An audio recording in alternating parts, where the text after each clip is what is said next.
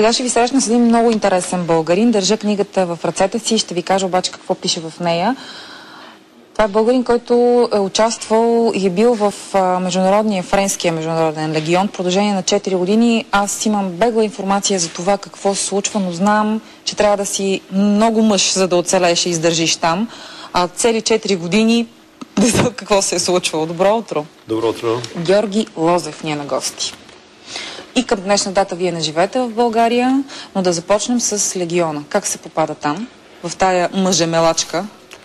Да, за Легиона наистина е едно доста сурово общество и останал така един мит през вековете.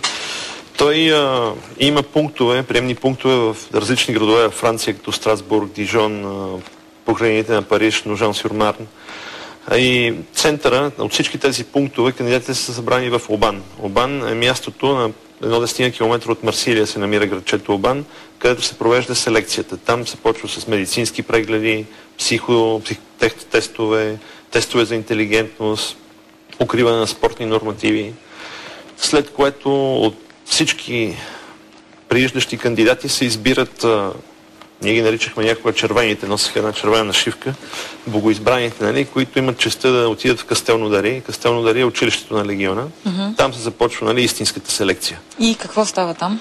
Там е обучение из планините, в ферми, по пиринеите, походи. В сурови условия. Да, там наистина поставят а, легионерите в условия на абсолютно изтощение, няма часове за спане, за ядене всичко е психиката, която трябва да го издържи. Има ли смъртни случаи в тези по време на обучението не, но по време на обучението имало опити за самоубийство, примерно, защото първия месец на селекцията в Ован, през цялото време, нали, ефрейтори, капоралите, които са там, ти говорят, напусни, не е за теб, нали, питват се психически да те изкарат. Това не е за романтици, това не е за приключенци, напусни, напусни, напусни, цял ден там доброволници могат да се откажат. Това е момента, в който човек може да се откаже и няма никакъв проблем, тръгва си.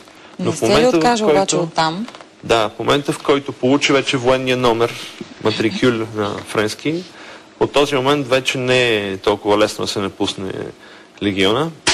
Поне така беше по мое време. Днес а, не знам дали е по-лесно или не, но предполагам, че не, тъй като все пак от този момент легиона вкарва пари в този човек, а, той струва пари на държавата.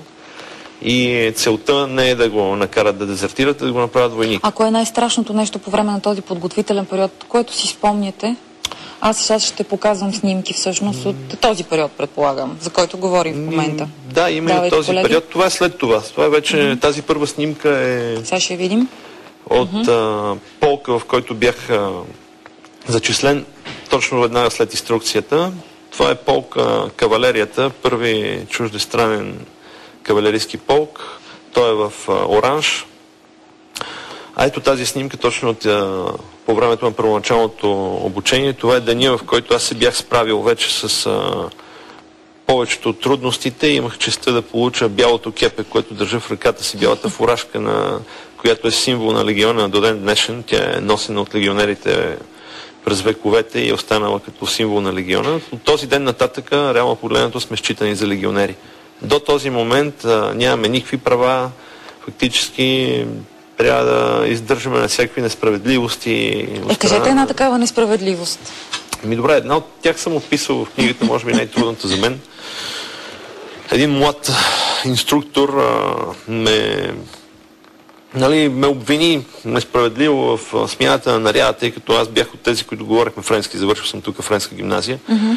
Вярно е, че за нас беше много по-лесно, отколкото за кандидатите, които не говориха езика, тъй като не е задължително да говориш френски език, за да постъпиш в легиона.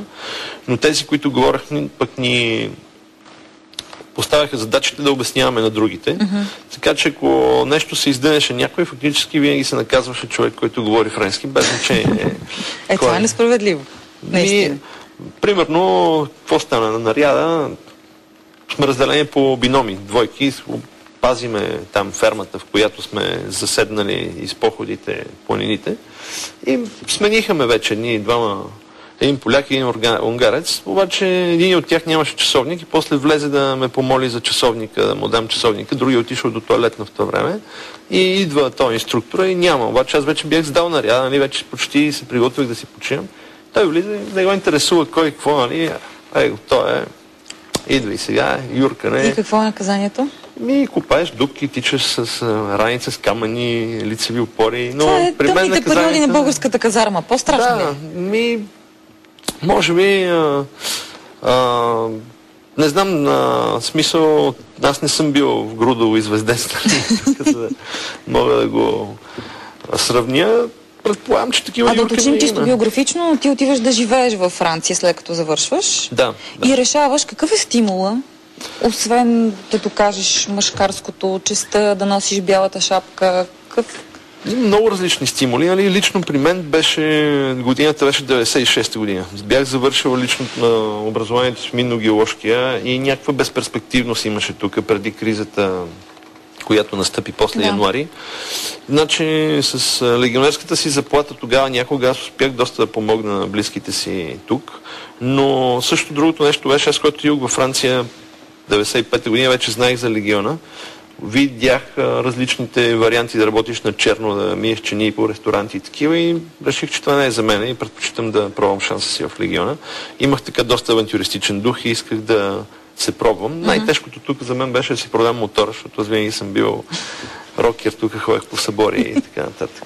Продавах си мотор и тръгнах. И, с което беше страшно чудощо за всичките ми приятели, защото съм доста свободолюбив и изведнъж да стана някакъв войник. Беше доста странно. Така да е, обаче знам, че условията там са много-много тежки. Четири години какво те държеше там?